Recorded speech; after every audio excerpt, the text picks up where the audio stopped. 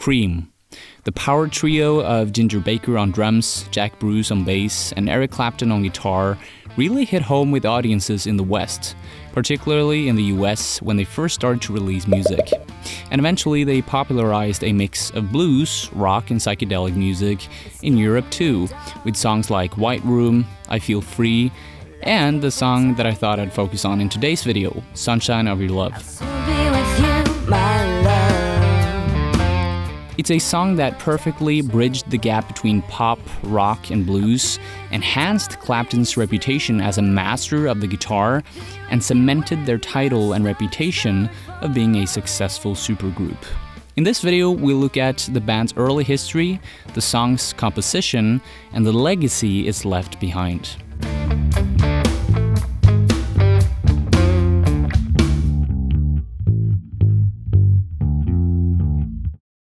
Eric Clapton was born and raised in Surrey, England.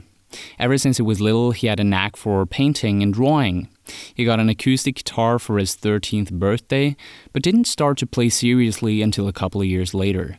It was when he heard a children's show on the radio that he got inspired to take music more seriously. The radio show played blues songs by Muddy Waters, Big Billy Broonzy, Blind Blake, Chuck Berry, Bo Diddley, and others.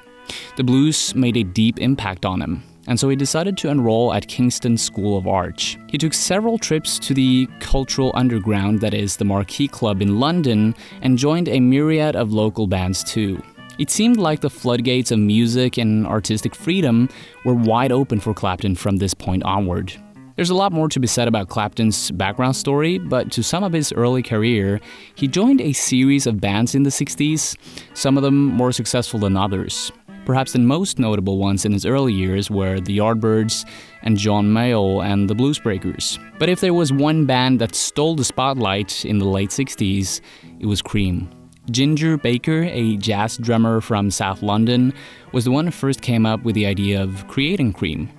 He wanted to gather the cream of the crop, so to speak, of contemporary musicians in order to reach fame and success. As things went downhill after his previous band, the Graham Bond organization, released their second album, he saw his opportunity to jump ship and start something new. Ginger and bassist Jack Bruce played together in the Graham Bond organization. They'd initially met each other when they played in Alexis Korner's Blues Incorporated, and although they had their tribulations in the past, Ginger decided to invite him and Eric Clapton to join Cream the idea was to, to carry on the idea that I'd had with Graham and everybody was to do something that was going to be hugely successful. Now, the three guys shared a common interest in classic American blues music. But in Cream, they adopted a much more experimental version of blues. Their psychedelic mix of blues, rock, and pop became extremely popular in the US and opened doors for the new blues acts in the UK and the rest of Europe. The band had a short lived lifespan that only lasted from 1966 to 68, but in those few years, they were able to create what we recognize today as some of the best rock music of all time. Even Jimi Hendrix loved Cream to the point where he covered several of their songs live. We'd like to stop playing this rubbish and uh, dedicate a song to the uh, Cream. So, what was it that made their songs so good? I don't know why. I don't know why. There's probably not one good explanation for this. They were all exceptionally good at playing their instruments, they were all dedicated to the point of obsession, their timing was perfect, and they also took their fair share of uh, substances, which might have affected a thing or two in the songmaking process. So there's not a good answer for how and why they made such a big impact, but there are three things I feel stand out. The first thing is that they effortlessly blend together genres. Secondly, and I'm probably biased to say this because I am a guitarist, but I think Clapton is able to provide the highest tier of flaring riffs and blazing soloing here. And lastly, I think their success is due to how all of the instruments flow together so easily. Although it's clear that the entire band has musical influences from all kinds of directions in the song, I'd like to take a closer look at Clapton's riffs and the embellishments to begin with. The melody of Sunshine of Your Love uses the blues scale, which is basically the pentatonic scale with the added blues notes. The function of the scale is 1, flat 3, 4, 5, and flat 7. And if you're allergic to music theory, what that basically means is that you play these notes. But you also add that note in between the fourth and the fifth. That blues note.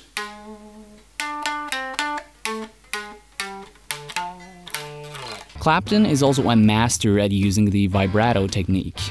This is where you bend the string slightly back and forth to create a more vibrating and um, pulsating sound. We know for a fact that Clapton was a huge B.B. King fan. They even made an album together in later years, which, you know, speaks for itself. Now, if we listen closely, we can hear similarities between the bends and vibrato techniques of Clapton and B.B. King.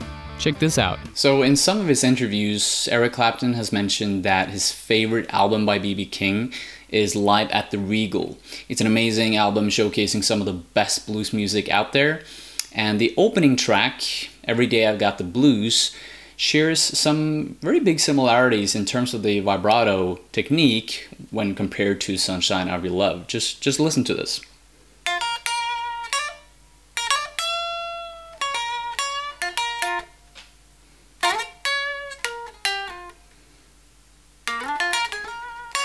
So again, you have this fastness of the vibrato of B.B. King. And you can hear that speed, that speedy vibrato being echoed in the solo of Sunshine Your Love too.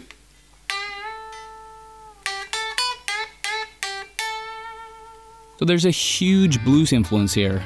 But that's not all. Eric grew up listening to a ton of early rock and roll music from the 50s and early 60s and he was particularly captivated by the music of Chuck Berry. Although rock and roll was closely linked to blues composition in the 50s, Berry's double string phrasings offered the audience something new. If you were going to play rock and roll or any upbeat number, and you wanted to take a guitar ride, you would end up playing like Chuck or what you learned from Chuck. You know all this stuff that's like I was doing the double string stuff. Single lines, it doesn't sound right. It sounds thin or something, or too fiddly. It would be okay, but it wouldn't be as good as. So, Johnny B. Goode is Chuck Berry's most famous song, and it also has one of the best examples of this double string phrasing, which I'm going to show you in a minute.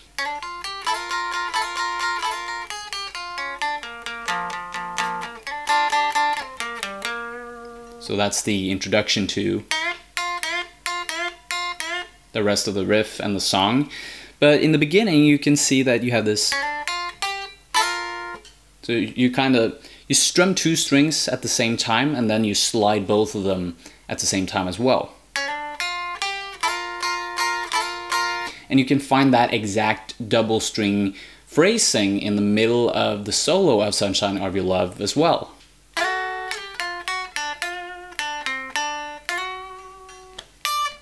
So there you have it again.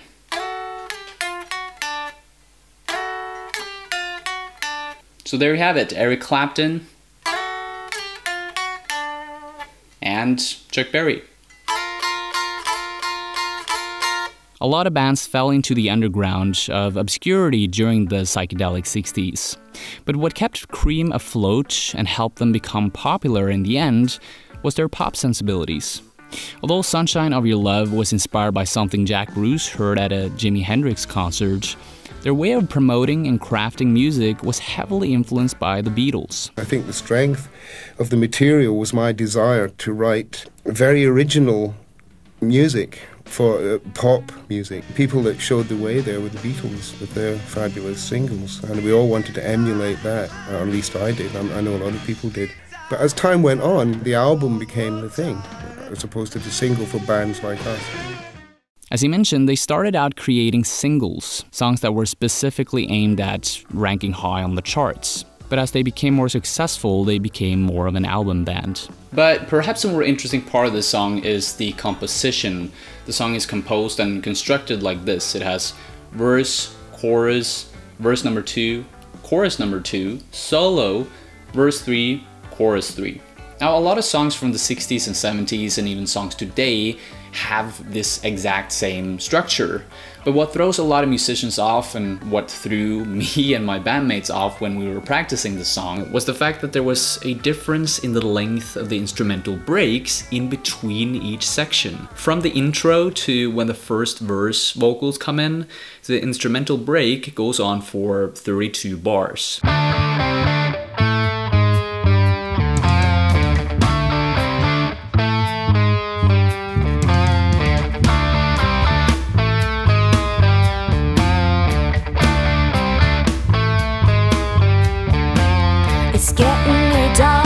But later in the song, between the guitar solo and the third verse, the instrumental break only lasts for 16 bars.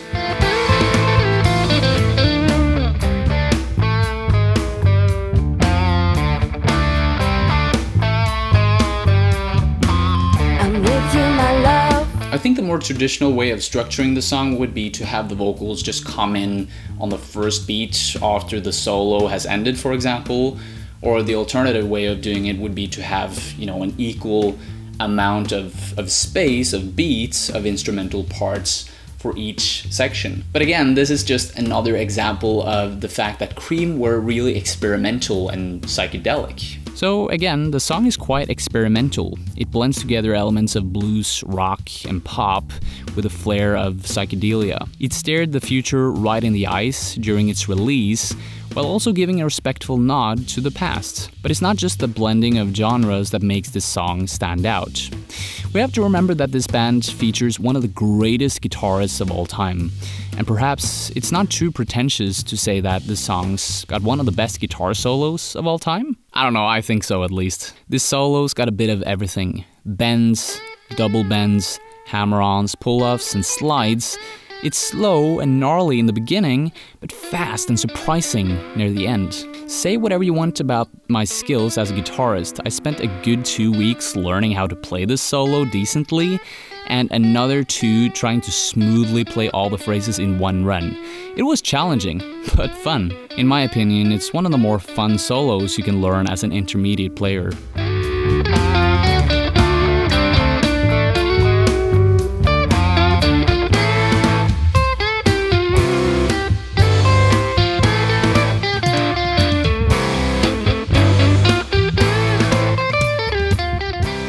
When the band first arrived on the music scene in 1966, Rolling Stone editor Jan Wenner described the band as a supergroup.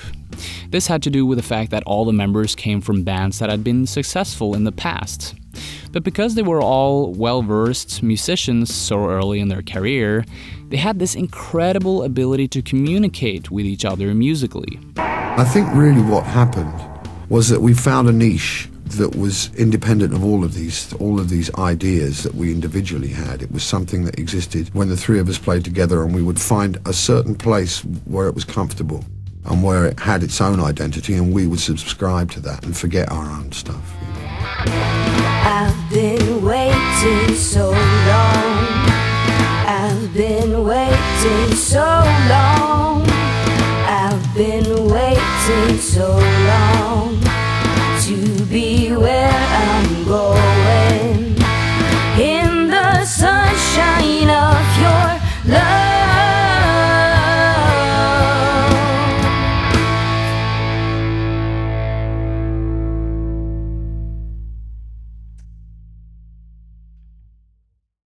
Thank you so much for watching this video. Please check out these guys over here, Mari, Jonas, Martin, and Robin. These are some amazing uh, bandmates and friends of mine that helped me make this video come true. I also want to make a comment on the fact that it's been a long time since I made a video on this channel and the reason why I took such a long break was because I, I just needed a break, to be honest. I was kind of in the middle of a burnout and I didn't know what to do about nine months ago. I'm thinking of returning back to the channel again with the series. It's gonna be a little bit more guitar and uh, music theory oriented from now on. And I think you can expect at least two or three videos each month. So again, stay tuned if you like this and uh, I'll see you soon. Cheers.